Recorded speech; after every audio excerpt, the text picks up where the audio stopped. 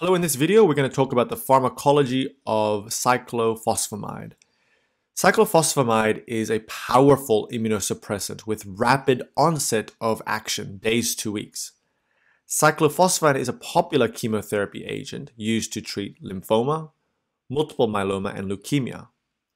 In rheumatology, it has a role in the treatment of vasculitis, life-threatening complications of systemic lupus erythematosus, as well as interstitial lung disease. Cyclophosphamide is an alkylating agent and works by disrupting the cell cycle, targeting rapidly dividing cells such as cancer cells, as well as immune cells, which will subsequently cause immunosuppression. For this example, let us just say cyclophosphamide is used to treat rheumatological conditions. So the aim is to suppress the immune system here. Normally, the immune cells enter the cell cycle to proliferate. The G1 phase prepares the cell to enter the S phase, where DNA is replicated.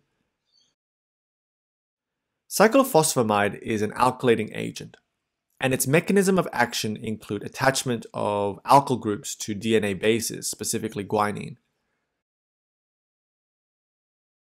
This causes an abnormal DNA.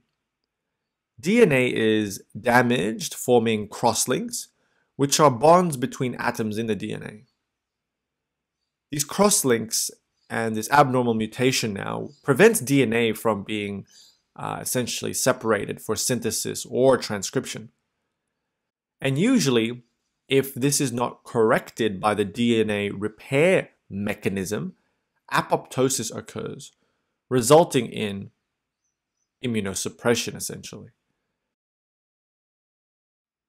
Cyclophosphamide essentially causes the cell to arrest at the G1 phase, preventing the S phase from occurring.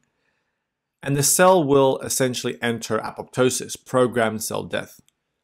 This will cause a decrease in the number of dividing cells, such as the immune cells, but also the cancer cells, because cancer cells are rapidly dividing.